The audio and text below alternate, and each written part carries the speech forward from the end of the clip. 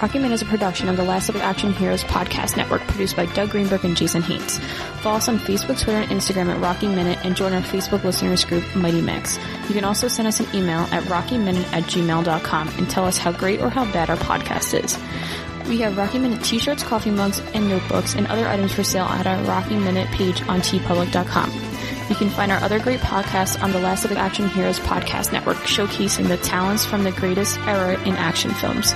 We can be found on any podcast app like Apple Podcasts. Leave us a five-star rating and a comment. Special thanks go out to the creators of the Minute by Minute, format Alex Robinson and Pete the Retailer from Star Wars Minute.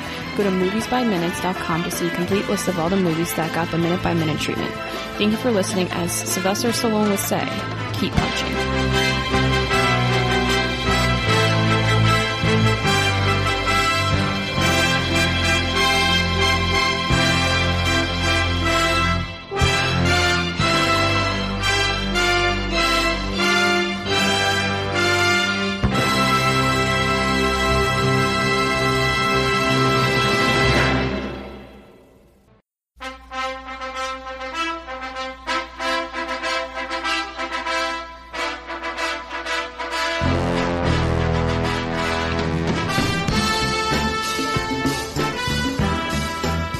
Hello, and welcome back to Rocky Minute, the daily podcast where we analyze the movie Rocky 3 one minute at a time.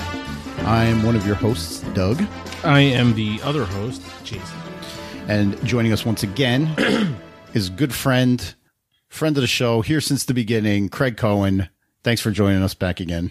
Wow, that's awesome. I'm actually going to back out and come back in so I can get that intro again. That's It was that good, good. huh? What- what- yeah, what an ego boost. Thank you. That's what we like to do. We like to make it a nice, friendly atmosphere for our guests. Funny you use he was here from the beginning, but he wasn't here at the end of the last show. Whatever. Things happen. Things happen when you're recording remotely. Yeah, thousands of miles away. unfortunately, the internet isn't a uh, 100% compliant medium. So uh, here we are. Here we are. Jay's yawning again. We're just getting started. It's late. man. Yeah, it's what you know. What we're gonna push along. Well, he's in. What, what are you kind of sympathizing with Paulie in this scene, who's kind of passed out in the uh, in the jail cell? in the drunk tank, drunk tank Jay. well, here today we're knocking out minute ten, which begins with a pull from a whiskey bottle and ends with "You, I owe nothing." All right. so we got uh we got the bottle the um the uh projectile that it's uh, going to turn into in a couple minutes seconds. Uh he takes a hit from his bottle as he walks up to the pinball machine. Now craig you said last minute that the pinball machine um was kind of you know real life uh, rocky being used dual in the, in the movie. Yeah. but the actual Rocky pinball machine was manufactured in September of 1982, which was four months after the release of the movie. Oh wow! So was this like a prototype or something? I think um, either that or it was something that was created for the movie. Oh, and then they were like, "Hey, we've got this. Let's roll it out." Yeah. Oh. Yeah, maybe. Oh wow. Okay. I don't remember ever playing the Rocky Pinball Machine. I mean, I'm I'm, I'm sure I probably did, but Mm-hmm. it's not a machine you see in the wild that much. I know here in in Las Vegas there's a pinball museum, and in Jersey in Asbury Park, I don't know if Mm-hmm. it's still there. They used to have the uh, the Pinball Hall of Fame. The silver ball. Yeah, still there, and I yeah. don't think that machine is in either one of those places. It's not here in Las Vegas. I think now it's more of a collector's item Yeah. than a functional machine. Also, the you know the the the back glass that we see in the pinball machine in the movie. And let me get to it. It sh- it shows Rocky with his arms up in the air, uh, and the word Rocky written one, two, three, four, five times in color, going from like yellow to red to blue from bottom to top. That glass was made for the movie. Um, that's not the pinball machine that was manufactured and used was not. Yeah, I'm looking at it right now. It's substantially different, and Mm-hmm. it's funny. I'm looking at some artwork from it, and it says featured in Rocky Three, and um, it yeah, it is noticeably different. I'm also seeing Doug that they made um, 1,504 machines, which I don't know what the standard is for pinball machines, but that seems pretty low to me. Yeah, that's so so. Not like every arcade you walk into is going to have this. Yeah. So it's probably But- pretty selective. How so? This this movie was made in what year? Eighty-two. It would does it take place in what year? 82? 81. 81? Yeah. Wait, or well, Well, don't even get started Yeah. with the Rocky timeline, guys. You'll Yeah, this this you'll movie, ruin your this movie messes it up. supposed to be three years later, but then Mickey's uh, spoiler, Mickey's Right. gravestone says eighty-one on it. So let's so let's say it's three years later than Rocky two, Okay. right? Yep. So Rocky one, and then and then four years after Rocky one. Yes. So Rocky has been a well-known professional fighter for four years. Does that warrant a pinball machine? I mean, ha- like, when Mike the Tyson standards, like- came on the scene, you know, but like, do do do athletes four years in, like in their prime, get get things like pinball machines and video, you know, that kind of stuff? probably. Yeah. Mike Tyson's Punch Out. You know, we could find out when he won his first title and when Mike Tyson's Punch Out came out. Damn right we will. Damn right we will. Uh, the um, the glass that we see here, Craig, um, only three of these were made. Uh, one was destroyed in the film, obviously, when Paulie threw uh, the the bottle through it, and the remaining two right now are in possession of collectors. Oh, also, I read that the original painting on the glass was Rocky at like more looking like the way he looked at the end of Rocky 2 when he was all beat up after the fight. But Stallone didn't like it. He didn't want beat up Rocky on the pinball machine, so they repainted it. Sure, that makes sense. That's it's pretty much on brand for for him too. Jay, anything? What? Please tell me you're still looking up the Mike Tyson thing and you haven't gotten distracted. Nope, still in there. Uh, they they're standing next to the uh, Rocky pinball machine is a Playboy pinball machine. Oh, Wow, saucy. uh, Hugh Hefner is uh, staying there next to 1976 playmate Patti McGuire and 77 playmate Sandra Theodore, painted on the back glass over there. I I uh, take it back. You're you're 100 percent right. Good good good. Uh, Yeah, yeah, because uh, Mike Tyson's career was from 19 started around 1985, and Tyson's project came out 1987. So okay. wow, I'm surprised. Um, yeah, we also have a Paragon pinball machine and a Flash Gordon machine. I, I really didn't care to look these up, so I didn't. Flash Gordon machine. Were you a Flash Gordon fan, Yes. Craig? Um, Yeah, I mean the movie's aged horribly, Yeah. uh, but as a kid, I was all about that movie. I don't think I've seen it all the way through. and even then, it might have only been, I might have only tried to watch it once or twice.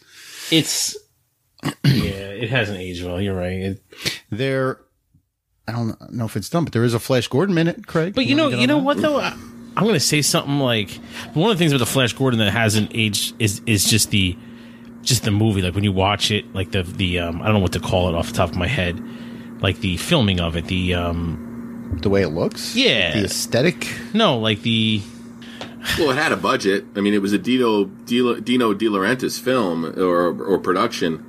But when you wa- when you watch it, you look at it and you're like, "This is ridiculous!" Like the way you know, like this is utterly ridiculous. But I have to say, I'm going to say something here that you know the minute by minute community might not like. Doug might not like. I might get punched in the face in a few seconds. But I was watching Star Wars the other day.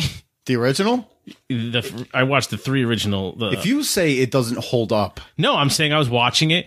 And uh, my wife was watching for the first time, and I was sitting there watching with her. And there were a lot of scenes where I was like, "This looks ridiculous." What? Yeah, dude. Like you don't you think that that movie like yeah. But just no, but it's just because it was made so long ago and, and everything was different. No, but the- obviously, I think the CGI, it wasn't even CGI. It was all No. practical stuff. It Even was all stuff. models. Yeah, that's- models and matte paintings. there was there were a couple It things I was up. watching.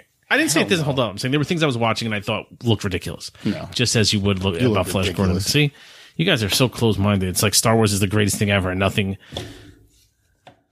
And I had some problems watching Star Wars. Today. I got to get on Star Wars minute, and I got to tear this up. You know what though? Uh, getting back to the minute, wh- what would have would the would the bottle have broken as well? I would think so, but those those liquor bottles are such thick, glass. man. Yes. You ever drop a wine bottle and like it'll dent your floor before it Yeah. breaks. It breaks. Especially those little ones, those little flask type ones, whatever. They were thick glass, little- man. yeah. And the pinball machine glass is not that thick. yeah, not at all. Yeah, I also like the fact that the there are little light bulbs um, that uh, like sort of frame out uh, the shape of Rocky after it's after the uh, the artwork's broken. Yeah, the backlash back glass is broken. Yeah. It's almost like the light bulbs are still saying to Paulie, you know, it's still Rocky Can't here. break me. Oh wow, good! Wow, you just went deep, Doug. Paulie's Yeah. faces before he throws the bottle are are priceless. well, again, it you almost wonder if in Paulie's sort of drunken stupor, y- like he he thought it was Rocky, but he mm-hmm. knew it wasn't. But mm-hmm. you know, instinctually he he knew it wasn't, but you know, his drunken mind thought it was. He, yeah, his his eyes are they're they're just mm-hmm. full of hatred right there too. Or he's counting every dollar, or or for, for you know every quarter that Rocky's getting that that he's not. Yep. Do you notice something else about Paulie's throw? He's a southpaw, Ah, just like the guy he hates. I just don't, man. I What? I don't get. What do you have a problem with now? I don't get how they like none of this resentment. Like they got into this so quickly. Like I understand that you have to tell a story and you have a very limited time to tell that story. And I understand that you, you know, Rocky one, Rocky two, it was in 1979. This was take place in 1982, 1981, whatever. So you have to make up those couple years and you got to do it relatively quickly mm-hmm. to take, so you don't take anything away from your, the rest of your story. And, and they did it great with the montage. The montage took us through his boxing over the last couple years very quickly brought us up to speed on that. But I feel like they didn't bring us up to speed on this. Like this movie starts off with Paulie having this resentment towards Rocky and we don't know why. Right. And I get it. We're going to find out in a couple minutes, but I just believe like it was almost like rushed. Like they kind of just jumped right into this. Like it's almost like they had a checklist of things we have to accomplish in this movie. And like number one was like, all right, we're going to show his boxing fights over the past couple years. Check. Okay. Number two, we got to have this resentment thing with Paulie brought up and resolved quickly. Check. Done. Move on to the next thing. Like I just feel like they kind of rushed into it. It's nothing's explained. We don't know why, why he's, he's so angry at the moment. Yeah, I actually think that this whole sequence, the main, um, oh wow, uh, Last Blood uh, commercial just came on the TV in the living room. Um, yeah. Uh, I, I think the main reason that this scene was there was so that Paulie could reference Rocky getting his face all fixed up. I, I swear, I think that's the only reason for the, these five minutes. That uh, I I think I read. I think I did. Uh, it's been so long since we recorded it, but um, part of the opening montage, uh, Rocky says to Mickey that he's going to get his face fixed. Oh wow! So, but that was cut out, obviously. so, so it, it, it is something that that I guess Stallone needed to address, and uh, instead of having it in the opening, Paulie does it here. Speaking of the script, Jay, No one was speaking of the script. Yeah. um, so this is Paulie entering the um, uh, the, the the arcade here. Uh, okay, Paulie enters and eyes the blinking image of Rocky and suddenly loses control and flings a stool at the machine. He attacks the machine with a vengeance as people shift around dumbfounded.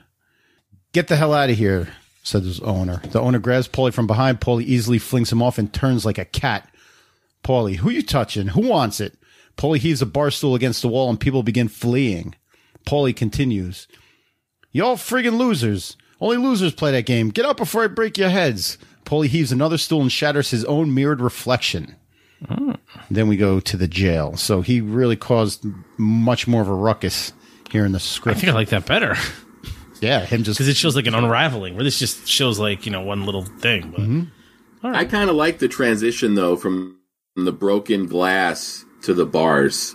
Yeah, they uh I you know, I've I've said it before and uh, I gave these guys credit. The Jaws minute talks about um, scenes changing from one scene to the next. If they do a dissolve, where it's not just a hard cut, a dissolve kind of indicates a passage of time. Right. So it's not like you know you cut right from the arcade to the jail. You you dissolve into it, and it shows he's been in there for a couple hours. vegging. Yeah, yeah. But who knows that? It's just a indication. Film nerds. Yeah, film nerds. Yeah, but the, The general that public watching minutes. the movie don't Yeah. know that. but what? the guy, the general public who's wa- out watching a movie with their family for a nice night doesn't know that. No, but it's supposed to give you a a feeling. Mm-hmm. You know? I think I think yeah, instinctually I think maybe audiences feel it because a cut is more like a slap, you know, Yeah, whereas the dissolve is a nice little I gotta pay attention. transition. To yeah. Pay that. Next attention. movie to I watch. It's amazing the things you'll you'll realize when you start paying attention to movies. I pay attention to movies, but now I gotta start thinking about the, the dissolve. It's actually if a movie is is well made, in my opinion, you don't notice any of that stuff until you're watching it for the fourth or fifth time. Mm-hmm. You know, but your initial you know viewing of a movie, you shouldn't be following any of that. If if you're seeing that kind of stuff, the director's not really doing a good job. Agreed. Um, this here is probably my least favorite Rocky. The uh, you know, the, the smartly dressed and coiffed Rocky. And this is your first time seeing this Rocky. If you were watching the movies in order, Yeah, Yeah, Well, it's so far removed from from any Rocky we've seen before. And this is not the Rocky that you fell in love with and no. that you rooted for. Like this is not. This is a different person. Yeah, but this is the Rocky we got right now. All right. Maybe that'll change in a little while. So Paulie's kind of like half asleep, half awake. There's no, there's real, there's no words exchanged right here, except when they're walking out. Uh, Paulie says, "You know, you want to hear that I owe you? I don't know you nothing." And uh, it, it it's noted also in the script that this is the fourth time that Rocky has gotten him out of the drunk tank. The fourth time. See, we don't know that. Like I would. That's that's that's what I'm saying. I wish if they were going to play up this little storyline of something going on between Rocky and Paulie, they played it out a little more. Like I would have liked to have seen like this not be the first time Rocky came. Yeah, I agree. Just uh, because I because I, how does he say it? Uh, I don't know. It's somewhere in here. I, I can't I can't find it. and I don't want to waste too much time. But No. um, yeah, I think it's something that that Rocky says to Paulie about it being the fourth time. Yeah. So anyway, this minute is over, and since I, since Craig died at the end of last episode, you can you can take another shot here, Craig, and uh, talk about uh, talk about Slycast or what you you you started talking about Mike Kunda getting the core four together again. Oh wow. Okay, so you missed a lot. Yeah, How much did. did you say? Goodness, God, it was some of my best podcasting too, and it's, it's lost forever. Forever. No, you know, uh, Slycast. You know, everybody's looking to carve out time to to keep moving through the '90s. You know, it's going to get a little, it's going to get a little hard for us because you know we're getting close to Stallone's lean years. But uh, the four of us love getting together and, and talking these movies. So, uh, you know, uh, the next year um, should be some good, exciting episodes of Slycast. And in the interim, you got the uh, the monthly Craig, Ryan, and Doug sit downs where we we go through a, a classic Sly movie that um, I've either talked about before or is is brand new. Uh, and it, it's been a lot of fun. I really enjoy those those those sessions. Uh, and uh, we've gone live for a bunch of them too, which is kind of cool. Those have been fun, like really a lot of fun. Yeah, yeah. And it, I, I am curious once you guys, once the Slycast gets to movies like Driven, and what, what, what else have we? Uh, the Specialist. Well, yeah. Um, well, the specialist we we kind of we made that our super special, Yeah. but like Cop Land's coming up. Copland, right? Yeah, I, yeah. I'm very curious to see how you, how you the Slycast covers it um, after we had already spoken about it. So uh, Yeah, yeah, um, I, I've been going back and listening to re-listening to the old episodes from movies that you already covered, and it's it's funny because you know I, I will say you don't you don't mess around with your with your opinions. They're pretty much the same as when we recorded them. So it's not like you know nobody could could uh, say that you're just blowing smoke up anybody's ass. No, yeah, I, I try to I try to keep myself honest, and uh, that's one thing on, on on on all our shows. I think you know we keep Sly honest too. You know we you know we all admire him and we're a fan of his work, but when he whiffs, you know we call him out on it. Yeah, it's it's. I mean, we have a duty to, don't we? Yeah, And neither of us somebody's are got going to be his drunk Paulie. Yeah. well said. Well said. All right, everybody. Well, that'll do it for minute 10 uh, and this Friday. So uh, Craig will be joining us at the beginning of next week as well as Jay yawns. So have a wonderful weekend, and we'll see you on a new episode of Rocky Minute. Bye.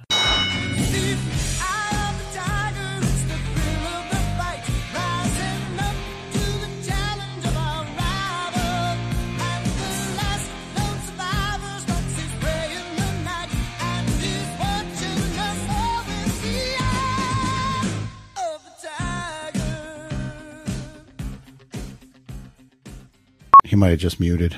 Craig, did you just mute? Yeah, I You knew scare me now. Every time you do that, I'm going to get worried.